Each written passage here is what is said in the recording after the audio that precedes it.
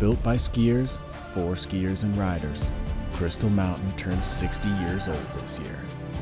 Let's reflect on the journey and the steep, deep, and epic times we've shared along the way. The dream started in the 1950s when a group of skiers came searching for a place to build a winter recreation hotspot. While exploring from old mining cabins in the area, the skiers found their paradise in the shadow of Mount Rainier. It had everything gorgeous views, epic terrain, and plenty of snow. The terrain at Crystal's second to none. I mean, it's just, it's just an amazing mountain. We got the most vertical, we've got great snow. This is set up for a great ski area. The visionaries brought their idea to the public, and 200 fellow skiers raised the cash to develop the ski area by purchasing stock. They broke ground in 1960, and two years later, on December 8, 1962, Crystal opened for the very first time. I've skied Crystal Mountain ever since they've uh, been open, every winter. The story is if you can ski Crystal Mountain, you can ski anywhere in the world. The snow was soft and the stoke was high that first season. Expansion started right away. Chair 3 was installed the following year, opening up lift access in Green Valley. That same year, Crystal Mountain's après scene got a big boost. The Summit House was constructed, and the world famous Snorting Elk cellar started pouring beers. Crystal quickly became a snow sports hub, hosting the Collegiate National Championships and the National Alpine Championships, which included a top to bottom downhill race. It's always been about the skiing here at Crystal. Management have always really been centered around the ski and ride experience. In 1970, Crystal opened the longest lift in the United States, stretching from the base all the way up to Campbell Basin. Within 10 years, Crystal developed a culture of hardcore skiing. The Sunnyside Sliders flew into the local spotlight with their daredevil antics, and in 1972, Crystal played host to a World Cup downhill event. As the 70s progressed, so did Crystal. The Gold Hills T-Bar became a triple chair, and High Campbell Double was installed, becoming Crystal's tallest lift.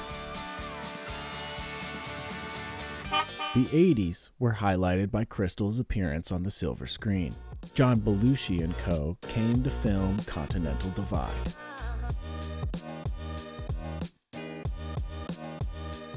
In 1988, Crystal began their string of firsts. They installed the first high speed quad lift in Washington, allowing those powder chasers to get first tracks that much quicker. In 1994, Crystal set the state record for snowfall when 6 feet of snow fell in 24 hours. Employees worked through the night and were able to open half of the chairs the following day. What goes up must come down. It's an idea all snow sliders understand inherently. After a couple bad years of snow, Crystal was on the verge of bankruptcy. Luckily, before the bank shut down operations, John Kircher and Boyne Resorts purchased the ski area. Crystal was back in business.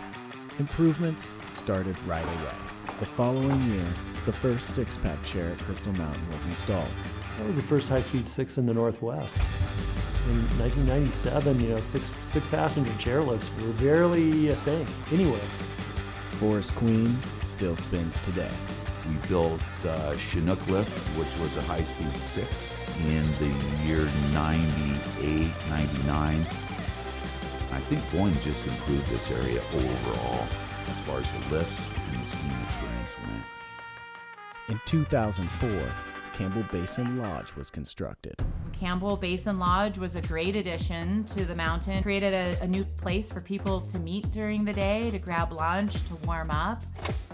In 2007, the addition of Northway Chair expanded lift access terrain to 2,600 skiable acres, making Crystal the biggest resort in Washington. Snowmaking was added to the lower mountain, and the first two hybrid snowcats were imported into the USA by Crystal Mountain.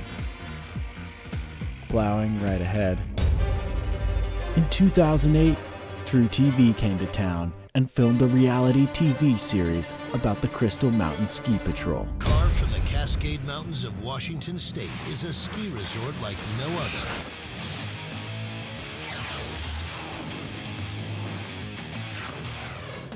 Can we change the channel, please?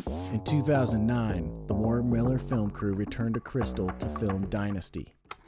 Skiing the Pacific Northwest demands an appreciation for storms that seem like they'll never break. And the dedication to being there when they do. Take Ingrid Backstrom and her brother Arne.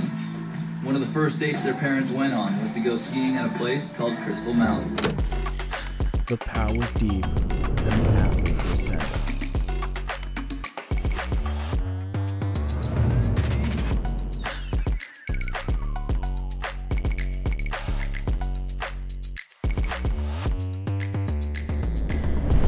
You probably know it, but you're very fortunate to have a mountain like this in your own backyard.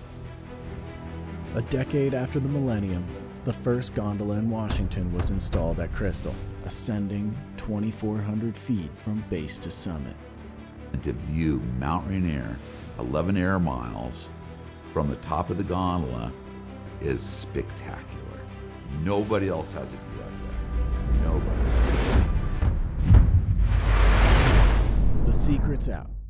Crystal gets a ton of snow. Love the powder, love the terrain. This is as good as it gets. Get up here and get some. And this is what dreams are made of.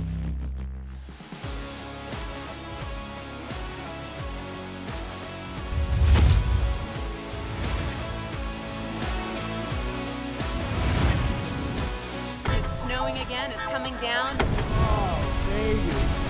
Wow. That was amazing. Mother Nature provides the goods, but we can never underestimate the power she has.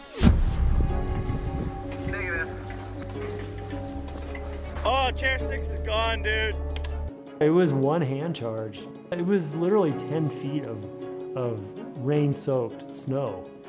Boyne would replace Chair 6 the following year, in what would ultimately be their last great addition to Crystal Mountain. Alterra Mountain Company acquired Crystal in 2018 and is committed to investing in Crystal's future. And that brings us back to the present. Whether you've been here for one year or 60, you're an important part of the Crystal Mountain legacy. Without the skiers and riders that call these slopes home, there would be no Crystal Mountain. Crystal welcomes with open arms all snow enthusiasts to share these sacred slopes. We can't wait to ski with you soon.